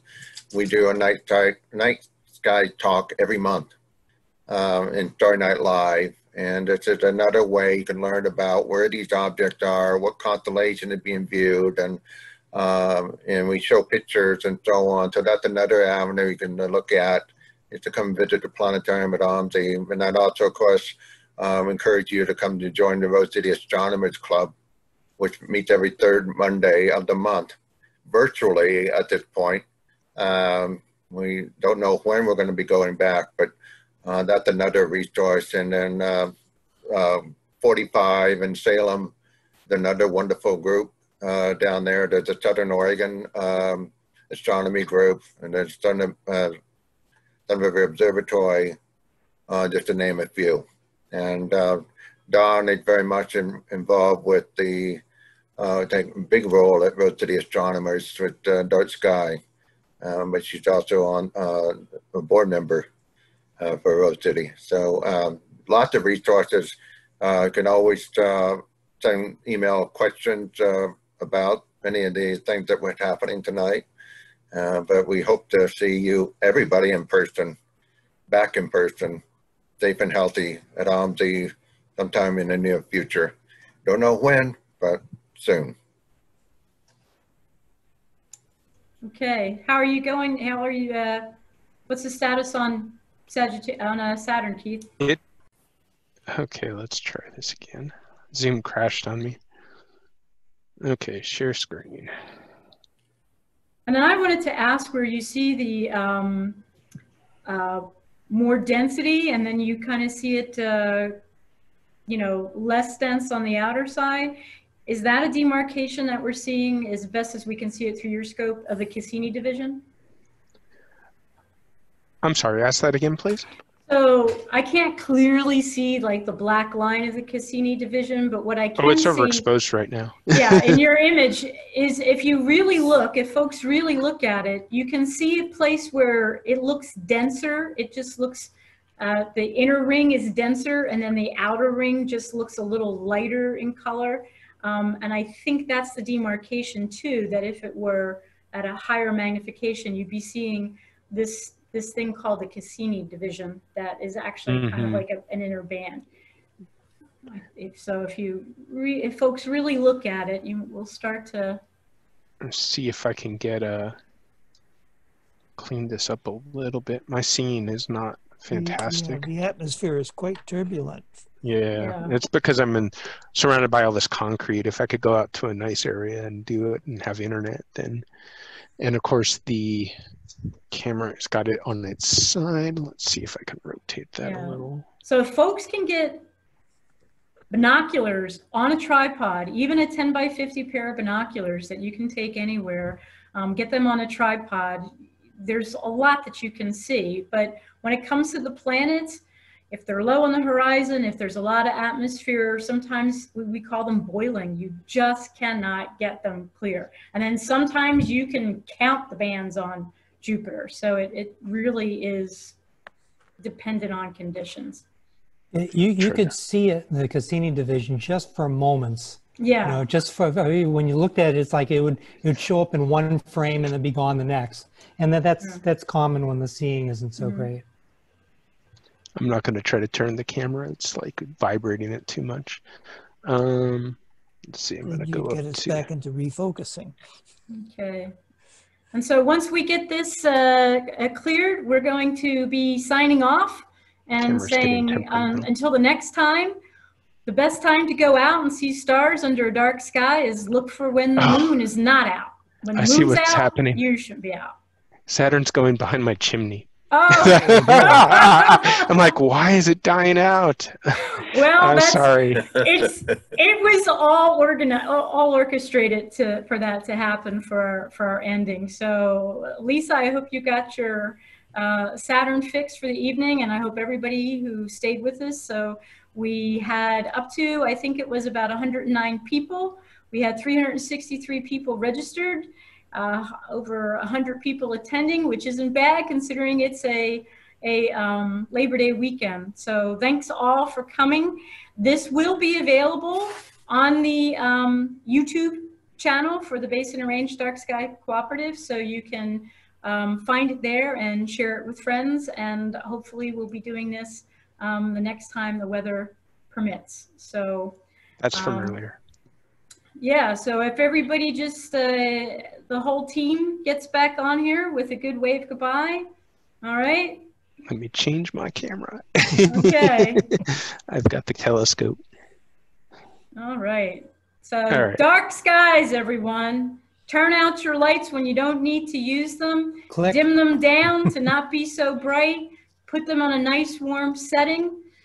And you're going to lights help save our stars. And put good shielding on your lights so they Good only shielding. shine down. Shine down. Don't Shine down. Don't shine them up, shine them down. And for more information, go to the International Dark Sky Association site at darksky.org.